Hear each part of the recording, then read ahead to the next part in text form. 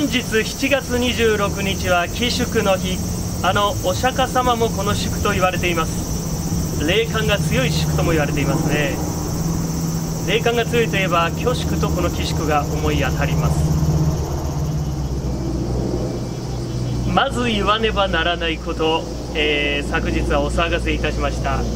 8月にサル痘は日本に上陸するのか否かというお題で占ってみたんですけれども私が動画をね編集して出すと同時に東京で1人サル痘の方出ちゃいました。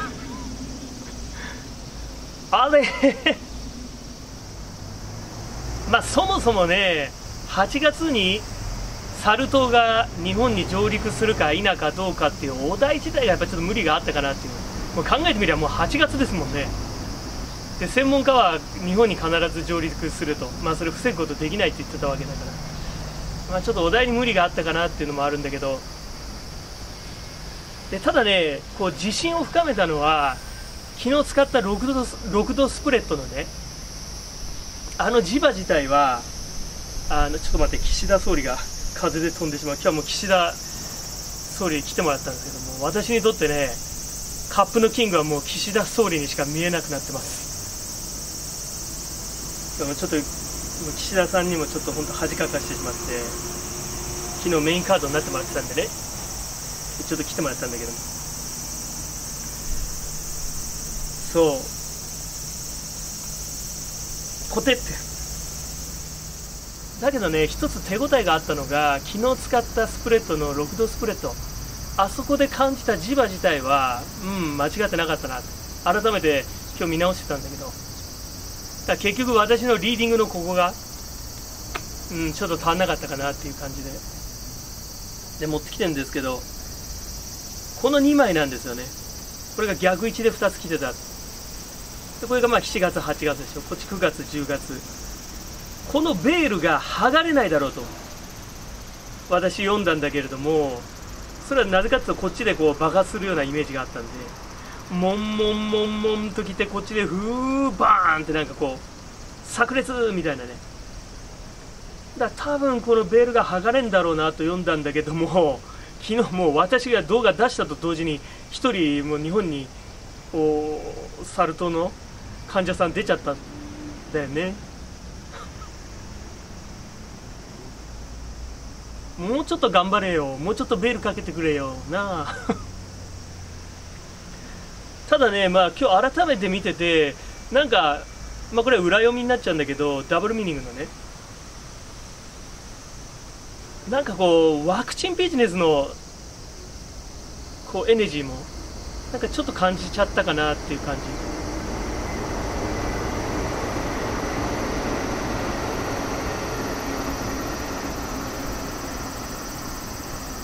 ワクチン反対派なんかはさ、もう早速、天然痘ワクチンに関しての反旗を翻してる。多くの人はねバカバカしいことだって言うかもしれない。ただの陰謀説だってね。だけどね陰謀って陰謀じゃないんですよね。もうそれが普通なんですよ。我々人の世に生かされてますでしょう。人の思惑の中に生かされてますでしょう。誰かしらの搾取の中に生きていますでしょう。いわゆる陰謀もしくは陰謀論っていうのは、まあ、つまりは陰謀論じゃない、まあ、現実なんですよね。天然痘ワクチンが陰謀だなんてね馬鹿げてるっていうかもしれないけどそれを頭ごなしに否定するのはどうかなと思いますね。まあ過剰に反応するのも変だけどかといって。まあ、陰謀でも何でもないワクチンビジネスですからね。ワクチンが売れりゃそれでがっぽり儲かる人たちいるわけだから。で昨日サミー・デイビス・ジュニアだなんて言っちゃったテドロス事務局長。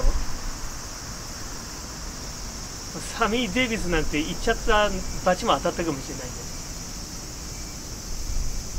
うん、もう今はねテドロスさんが私はもうサミーに見えない。今はねテドロスさんが ワクチン承認に見える。そうだな。世界のワクチン承認バラクーダワクチン承認バラクーダってなんだ？五感だけだ。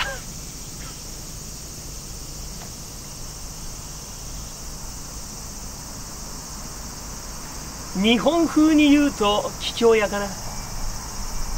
ただこのテドロさんもともと共産主義的な活動やってらっしゃるんです。よ意外に知らない人もいるかもしれないけど。であのコロナ禍の時に中国寄りになった時にねまあ散々批判を受けたわけなんだけどね。うんもうサミー・デイビス・ジュニアではない。桔梗屋だ！でやっぱりですね今現時点で感染しているのは45歳以下の人たちがほとんどみたいですね。天然痘ワクチンが効いてるんでしょう。日本で1人出た欧州帰りの男性の方も確か30代でしたよね。45よりは下だったと思う。だけどまあこれからコロナのワクチンも打ち重ねていかなきゃいけないでしょ。まあ、状況次第では。今ぐらいの状況だったらまあ打たなくてもいいかもしれない。けどでさらにここで天然痘ワクチンとかってさ結構体に負担かなっていう感じがする。まあ状況によっちゃまあ岸田さんがちょっとまあまだ状況によっちゃさもうしょうがないけどね打たなきゃ。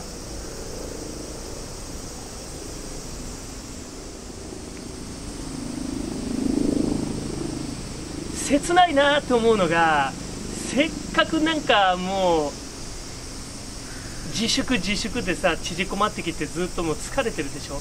で今年の夏はなんかそのぐーって縮こまったバネがポーンって弾けるこう勢いを持ってたと思うんですね。それがまたなんか押さえつけられるようなムーブがこううんぐーってきてますね。私の地元でも今年は夏祭り。去年、一昨年とはもうなかったんだけど、今年はだいたい7部型のサイズ、規模でやりました。だからやっぱいいなと思って、参加してていいなと思ったんだけど、これでなんかまた無駄に萎縮しちゃうと、どうかなっていう感じはしますね。もううまくこう折り合いをつけてやっていくしかないんじゃないかな。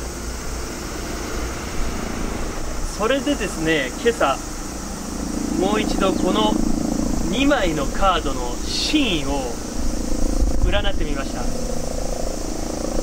本当はちょっともう一回昨日のスプレッドもう一回開き直そうかと思ったんだけどそれはやっぱ良くない。まだ1日しか経ってないのにブレてきちゃってね軸自体が。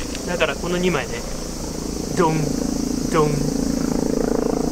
この2枚のカードの真意に関してもう一度確かめてみました。おはようございます。男のタロット、レキタロットレキです。100リッキです。えー、本日はですね、寄宿、お釈迦様が生まれた、あ、生まれた日じゃねえや、お客様、あおおお釈迦様のね、祝と言われてる寄宿。この祝と、あと恐縮は霊感が強いと言われてます。さて、昨日ですね。もう知ってる方もいるかもしれませんがサル痘は日本に上陸するのか否かということでね8月中はこちらのベール。ベールに包まれたままふつふつふつふつとまだこう表には出てこないと占ったんですがそれはなぜかというとその次にこのカードが来てたんでぐーっとここで押さえてこっちで爆発するかなっていうなんかそんなエネジーの流れを感じたんですけど実際昨日私がちょうど動画発表すると同時ぐらいじゃないですか。東京で欧州から帰ってきた男性が1人サル痘にかかっていたことが判明したのは。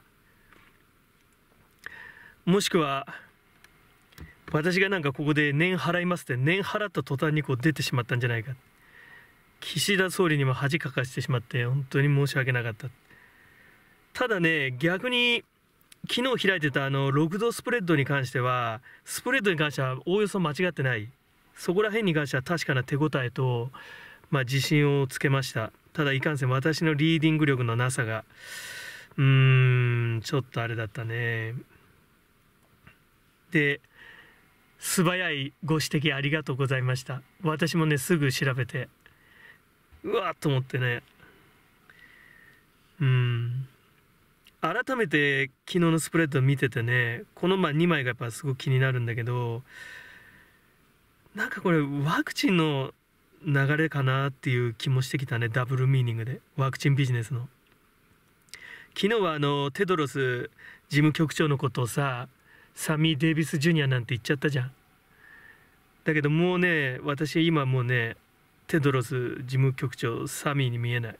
もう今はねワクチン承認に見えてきたただこの方あれなんですよね。もともと共産主義的な活動さされてたんですよね。意外に知られてないかもしれないけど。まあそれはさておき。でそれでですねもう一度今日ねこの2枚。でまた昨日引いたばっかりのスプレッドをまた引くのはちょっとダメなんでそれは。ブレてきてしまうんで。今日はこの2枚に関して一体どうなんだと。もう一度この2枚に関してねこの流れふつふつとここでバーッと弾けるみたいなこうふーってくるこういう流れに関してちょっと確かめてみたいと思います。で本日はまあタロット使わずにこのルノルマンでサクッとあのやりたいなと思います。まあだけど大変だよな今年の夏。マジで。夏祭りとかもせっかく戻ってきたのにね。私の地元でもね今住んでるとこでも。今年はさまだ、うん、全開ではないけどやっとなんかこう戻ってきた感があるのにまたこうなんか萎縮させられるようなさ力が働くよね。うん。よし。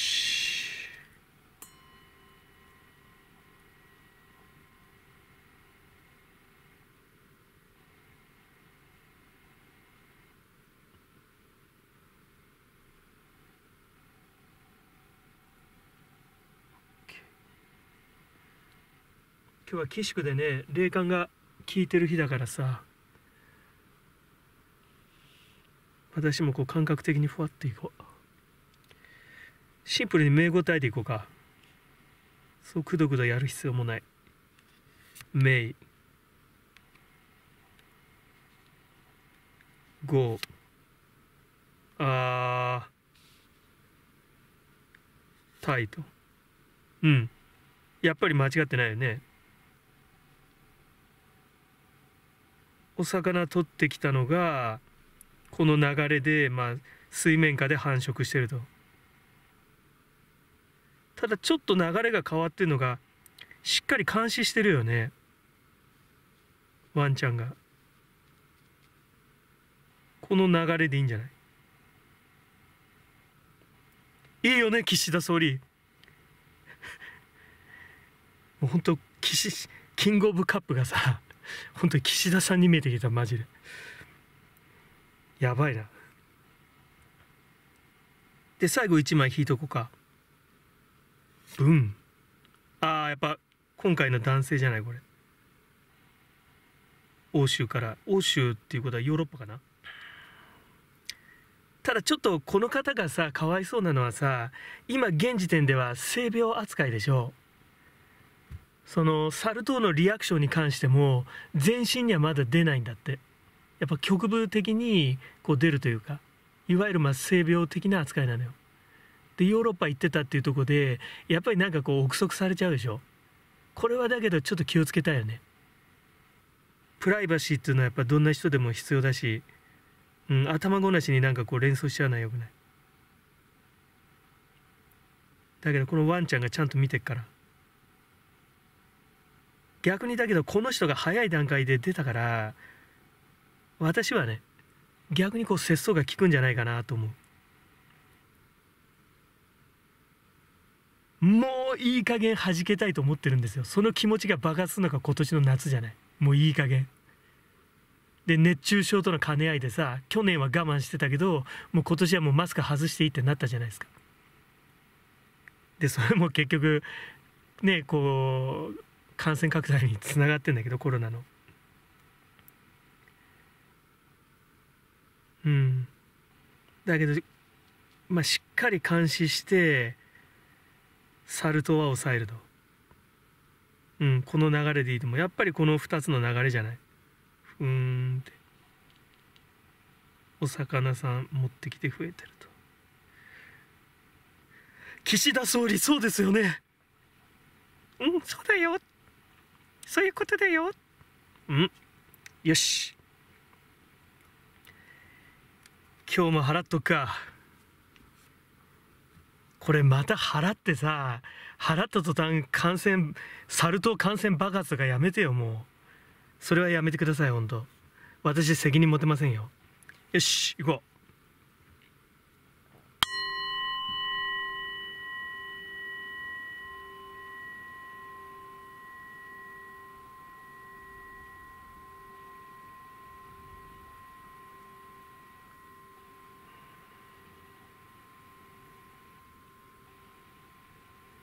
諸賀魚家福諸賀魚家福諸賀魚家福諸賀魚家福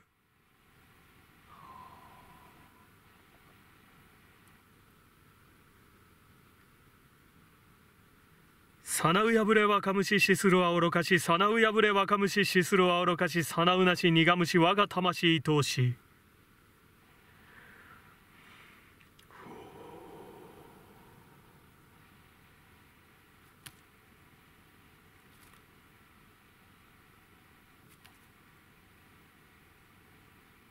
あんあんあん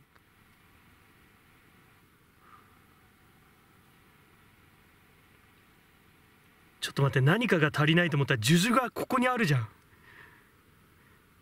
大丈夫かよ今日の念飛ばしおい不安になってくるぜ。大丈夫。大大丈夫ですよね。岸田総理、うん、大丈夫だよ。心配するなよ。大丈夫です。よし。OK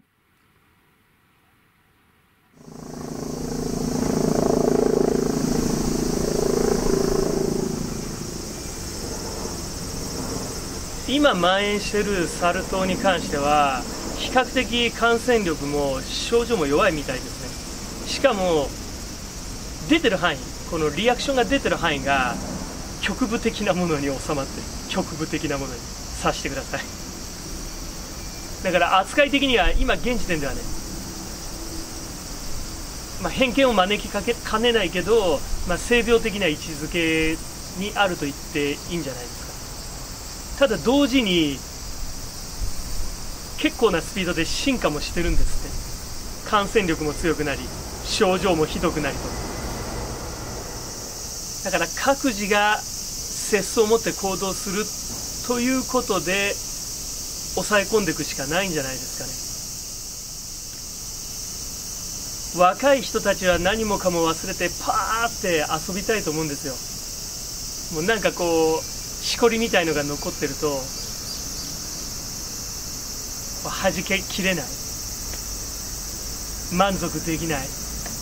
そういう気持ちはすごいわかるけど残念ながら今のこの世では無理です。よね全部忘れてパッパラパーって楽しむと下手するとコロナとサルとさらに今なんか指令って出てきてる手足口病。このトリプルパンチ食らったらさすがにへこむでしょ。いくら体力があるっつっても。まあダブルパンチでも結構答えると思います。でまたサル痘ってなんか響きがちょっと物々しいんだよね。昔あの狂牛病なんてあったけど PSE か。もう狂牛病って言っちゃいかんけどね。昔あの狂牛病がまあ流行った時私ステーキハウスで働いてたけどもお客さんすっからかんになって。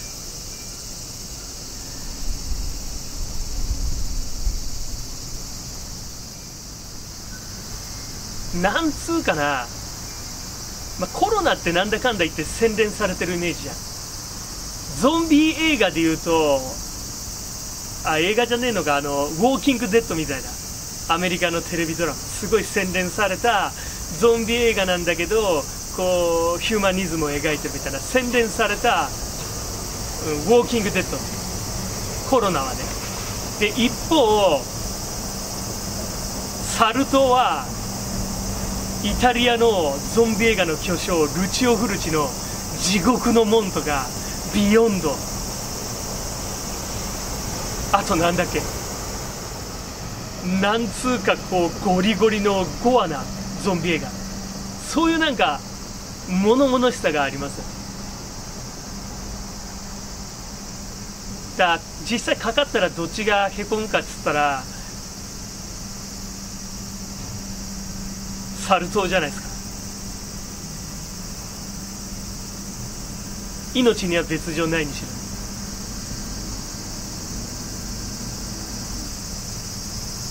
猿から進化した我々の DNA, DNA をねわななわなななごめんわななかせる。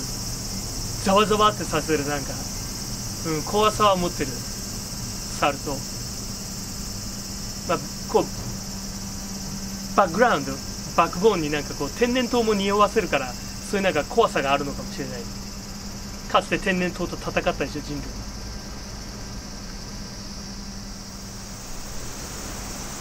夏はふわっと弾けたいところですが今年の夏もやっぱりコロナウィズコロナウィズサルトウィズ手足口病。どんなんだよこれ。でやっぱりね節操を持ってがっつりいくしかないのかな。さっきワクチンビジネスの話しましたけどもうアメリカも欧州もそれぞれ天然痘のワクチンを準備してるみたいですね。日本もその準備取り掛かってますから。私は1回打ってるはずだからねそこそこサル痘に負けない免疫システム持ってるはず。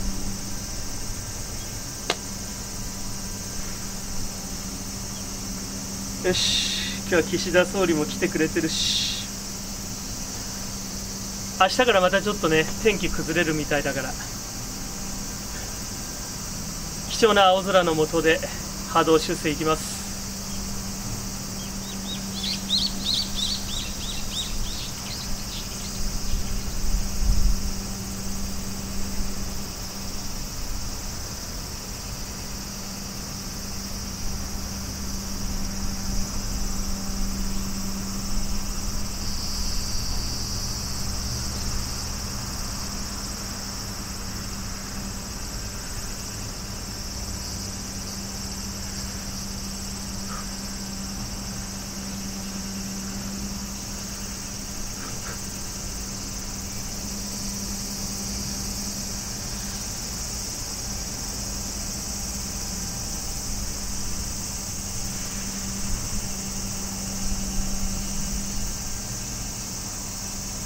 諸賀魚下腹諸賀魚下腹諸賀魚下腹諸賀魚回復逆諸賀魚回復別諸賀魚回復。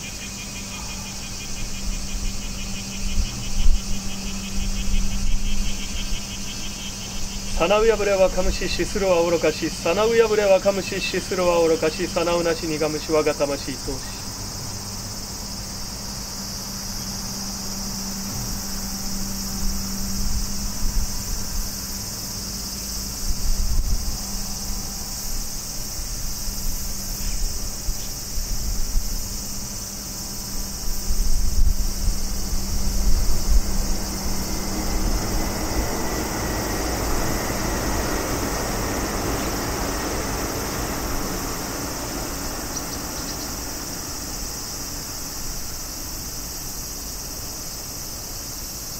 100年持つ体づくり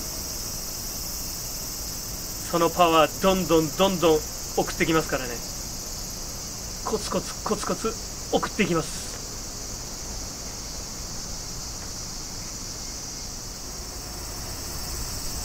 ご視聴ありがとうございました。100システム100力用でした。それではまた。